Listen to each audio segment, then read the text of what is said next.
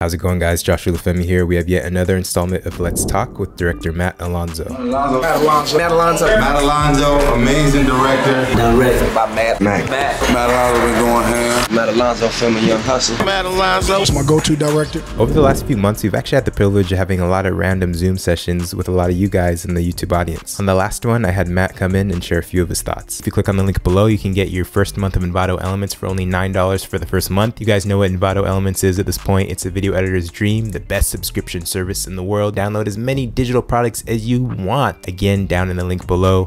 Let's get to the video. I remember the first time I went on set with Matt.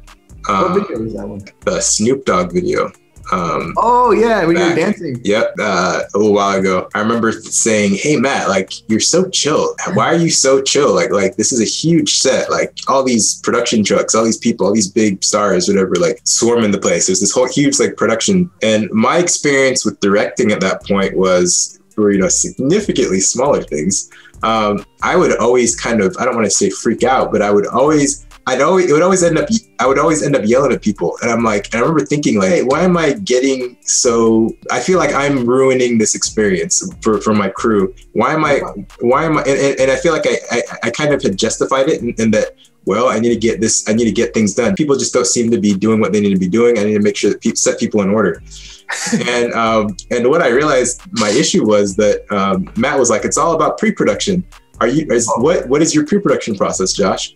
And I realized I was like, wait, pre-production process? What do you mean? What is pre-production? Yeah, what's pre-production? So, you know, basically I would rock up the set, say for a music video or say a wedding video even. And I'm like, all right, guys, well, I'm thinking of stuff on the, yeah, I'm thinking the stuff on the fly, you know, let's do this. What do you guys, don't you guys know? I want this lighting set up. No, no, let me. You guys are in my head? You like, don't, don't see can't you guys, don't you guys understand what I'm thinking? So like, uh, so again, whoever, uh, Nico, uh, sorry, uh, who, who was talking about the treatment pack um, that treatment pack is what really just got me figured out like wow okay this is the start like you have to you want to sh- you do not want to be creative on set you want to do all that creative beforehand yep. share that with your dp share that with your crew make sure that yep. they all are on the same page and they can basically operate kind of you still have to be there obviously but they're kind of just operating around you you know they know what's up and yeah. that's why I just saw Matt showing up to this massive mm-hmm. set. I was like getting nervous and I had no responsibility at, at all. I was just chilling, just kind of shadowing Matt for the day.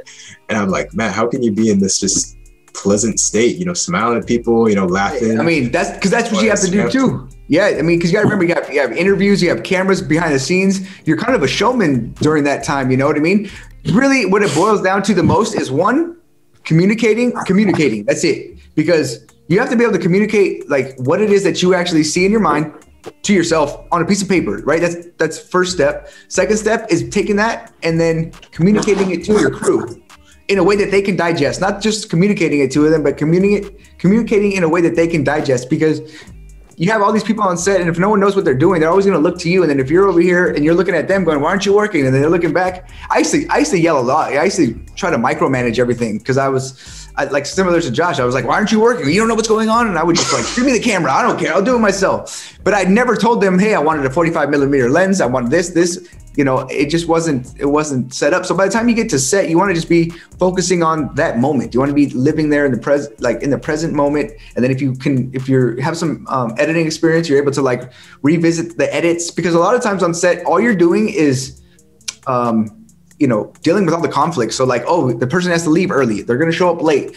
This, oh, we can't shoot here anymore. Or, you know, this prop broke. So you always have to be able to be like flexible and then uh, find a way in your mind to make it work. Okay, cool. I just give me, you know, Matt, you only have one shot left. You can't shoot three. Okay, no problem. Give me a 50 millimeter lens. Let's combine these three shots. Let's do here, whatever. And so I can move. Um, and so that so if you're thinking about creative and you're thinking about the concept you're thinking about the light like all these things at once I think it's just too much for somebody, and you you know in general. And then you see your your crew kind of just standing around. You get Josh was getting pissed. I would love to see Josh like at least. I've never seen Josh in that that mode. So um, I know I don't want to. Yo, it can. I mean, I, it, it honestly does not happen. I, I haven't been a, a, jerk on set for quite a you know as, as, far as I've been told. But like I remember there was a, right? like man, I remember getting to the point where you could actually like feel it like I'm like, wow, I am I am not That's the way I am. That's the way I, I still get that way. I still get that way on set because you got also remember you have somebody's fifty thousand dollars. They're coming to you. You have their image as well. The rest of the crew doesn't have that stress. The rest of the crew is just kind of like they're here for the day. Like, of course, they want to work with you to give it give it your best. But if you're not able to like figure out the best way to get their best, then you know they're they're gonna kind of just chill. You know, okay, cool. You know, go go look at craft services and stuff. And you have to really be able to communicate and like motivate and, and inspire your guys to like rally around you because you are the one that's gonna like if the video doesn't come out the, the label's coming to you for the 50 grand you know and it's it's it's a little more pressure